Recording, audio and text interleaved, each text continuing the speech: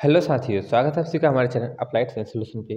आज का वीडियो काफ़ी खास होने वाला है। फुल डिटेल होगी वो आपके जूनियर असिस्टेंट या स्टोर कीपर पे।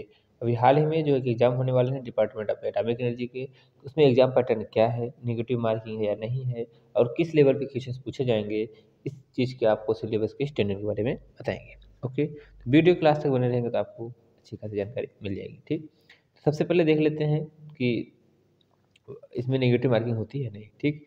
आप इसी ऑफिसर साइड के पेपर पे जाएँगे हेल्प डेस्क उस पर आप क्वेश्चन क्वेश्चन आंसर लिखा गया है, जिसमें पूछा गया है, will any negative marking for level one क्या लेवल वन के लिए कोई नेगेटिव मार्किंग है? तो दिया गया है yes point two five marks will be detected for each wrong answer ठीक, गलत आंसर के लिए आपको वन बाई फोर्थ आपको कट जाएँगे. ठीक, अब नेक्स्ट देखते हैं आपका स्कीम में जैसे आप पेपर वन और पेपर टू देंगे पेपर टू आपका डिस्क्रिप्टिव होता है तो उसमें आपको रिटर्न नेगेटिव मार्किंग का कोई टेंशन नहीं, जो ऑब्जेक्टिव होता है, उसमें ही नेगेटिव मार्किंग होती है, ठीक? तो इस तरीके का है।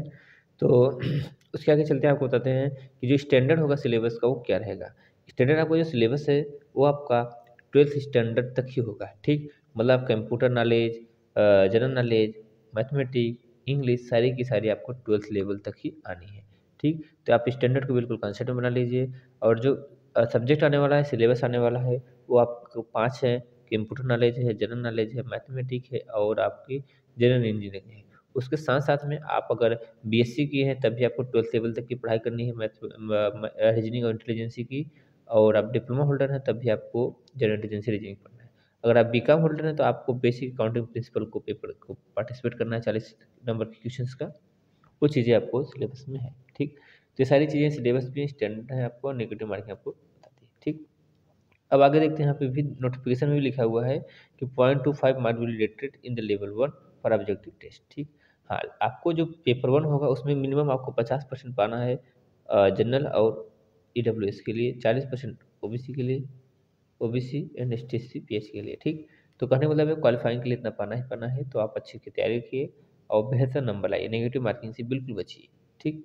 जैसे ये जानकारियाँ थी। कैसी जानकारी लगी आपको? होप ये चीज़ें आपको एग्ज़ाम में काफ़ी हेल्प करेंगी कि आपको नेगेटिव मार्किंग से है स्टैंडर्ड क्या है और जो है कि सिलेबस क्या है, ठीक? एग्ज़ाम पैटर्न क्या है? और इस जानकारी के लिए आप हमारे एप्लीकेशन पर जाइए प्ले स्टोर पर वहाँ से अप्लाइड साइंस सोल्यूशन को डाउनलोड कीजिए एप्लीकेशन को। वहाँ से जाने के बाद आपको कोर्स मिलेगा जो department atomic energy junior assistant या स्टोर कीपर के नाम से बना है।